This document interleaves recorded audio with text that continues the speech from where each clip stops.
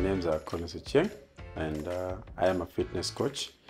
And also, I also organize hikes and do team buildings. Still, uh, all part of fitness.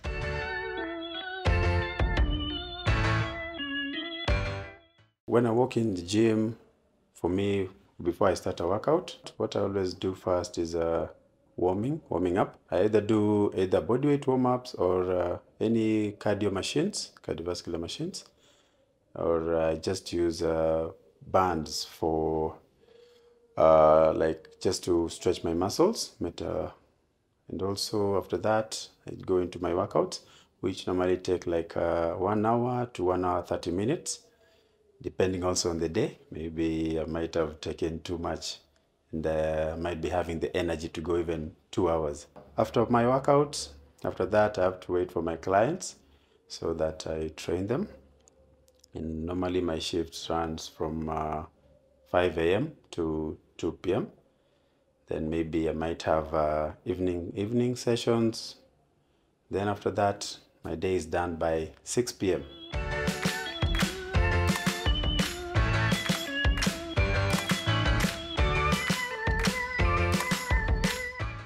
I was inspired by there's a lady who inspired me. She was my matron at the youth group where I was. And the second person was uh, my cousin who used to play rugby. So I used to admire how these people were physically fit and how they used to train. And also, I can say personally, self inspiration, since I was also active in things such as dancing. So I I came up with the, I was so much interested with the aerobics, so that is how I joined fitness.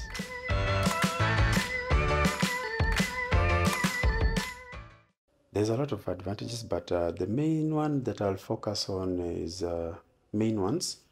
Number one, hormonal balance. People never know that working out can also balance your hormones and also boosting immune system. Apart from uh, what people normally say, like want to reduce weight, I want to add bulk up, or I want to tone up. These are one of the things that people overlook, and I like. I like those two reasons. Or the third one can also be uh, good sleep, and uh, maybe I can also add uh, mental health.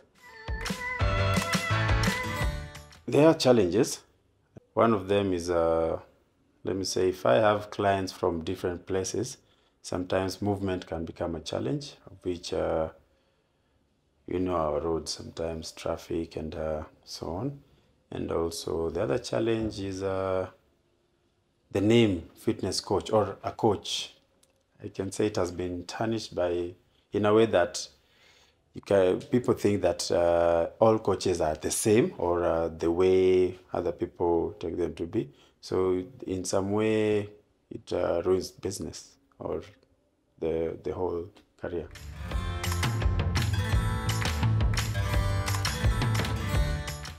It is a good one. For me, I love the fact that I'm always in the gym. And uh, number two, the fact that I'm helping people achieve what they want. And uh, I always enjoy the part whereby a client comes and tells me that I've noticed this, this change, or even when the client tells me that I was told by someone that I've changed in this way, in a good way, which are always uh, inspiring to a coach and also motivates a coach to do more. It shows that maybe the workout program that you give gave the client or uh, what you are doing and the advice you're giving is working for the client.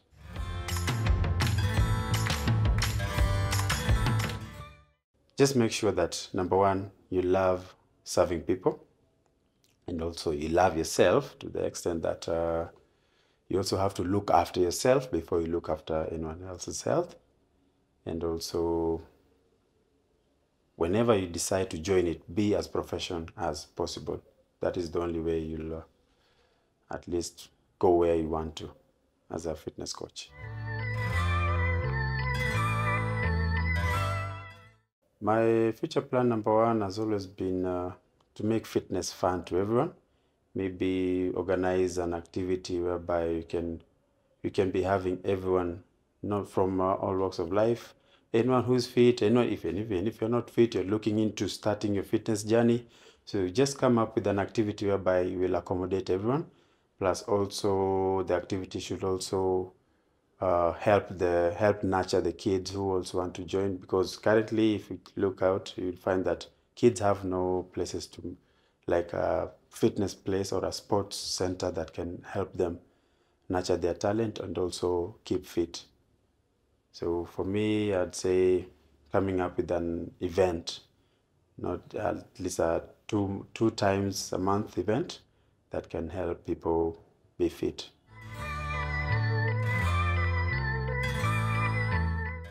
Fitness as a career can is sustainable if only you are professional enough and also know how to communicate with your clients. Plus, it also depends on research. So you have to do a lot of research because uh, health, health-wise, things keep changing every day, and uh, you have to know how to how to work with different types of clients, also depending on their health and uh, sometimes mental uh, health too, not just physical. And in terms of uh, as a source of income, it is still uh, sustainable because the be- the more you better yourself as a coach in terms of the courses, because you have different courses that you can take to better your the one that you did, and uh, that way I believe you'll be adding more stars to your to your fitness. Fitness is still broad and uh, it has not been tapped fully. And I believe we can still do more, especially here in Kenya, because uh, currently people only know about carrying, lifting weights, and uh, I'm happy about those people organizing the bodybuilding activities and uh, those competitions of uh, strongman. But I still believe we can do more in terms of fitness as an also an entertainment part. Whenever you decide to do something, never have second thoughts. Believe in what you want to do. And uh, I do not just call them dreams, I call them visions. The visions you see, whether it's at night or even if you're sitting, what one they call them base, pure base. eh? Whatever you vision, envision, try to make it into reality and push it. Find whoever will help you achieve what you want and also the people you work with matter a lot. Of course, I'm not saying that you should choose the people you're working with, but yes, you also have to choose because what this person is uh, putting in your mind is either it will make you or break you.